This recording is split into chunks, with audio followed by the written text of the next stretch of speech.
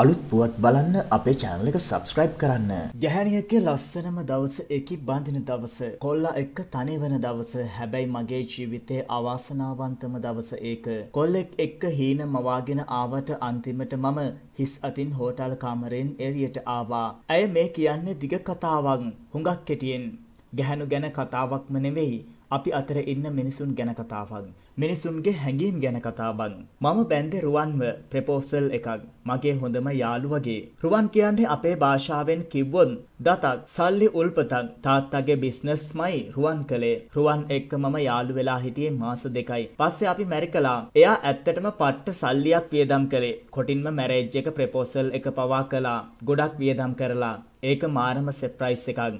අන්තිමට අපි බැන්දා වෙඩින් එක ලොකුවට ගත්තා. මාරයි එක පස්සේ හනිමුන් ගිය හොටෙල් එකකට. හනිමුන් එක කියන්නේ කෙල්ලෙක්ගේ ලස්සනම දවස. මං ආසාවෙන් හිටපු ගමන. මගේ පිරිසුදුකම පළවෙනි පාරට නැති කරගන්න උවමනා උනේ එයා අතින්. මම ඇස් දෙක පියාගෙන ලෝභකමෙන් හිටියා ඒ වෙනුවෙන්. ඒත් දෙයි හාමුදුරුවනේ හිතාගන්නවත් පුළුවන්ද? මේ මනුස්සයා මට කියපු දේ. එයාගේ ඒ කියන්නේ එයා සමලිංගිකයෙක්. එයා ගෑනු එක්ක හිටපු කෙනෙක් නෙවෙයි. මට පොළව පලාගෙන යන්න තරම් ලැජ්ජාවක් ආවා. ඒත් මම හැරෙන්නද ආපහු. එයා ඒක ලෝකෙට කිව්වේ නැහලු. අම්මලට ලැජ්ජ කරන්න බැරි කමට.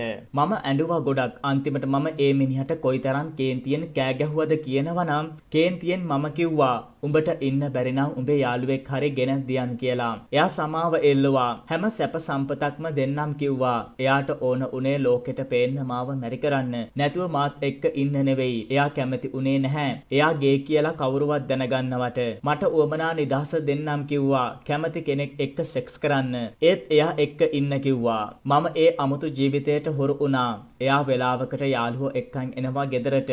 උන් ඔක්කොම එයා වගේ අය. මම මගේ පිරිසුදුකම නැති කරගත්තේ නිලන් අතින්. නිලන් කියන්නේ මගේ ඉස්කූල් කාලේ යාළුවෙක්. අදටත් මම පාර්ට්නර්ලා දෙතුන් දෙනෙක් එක්ක වැඩේට සෙට් වෙනවා.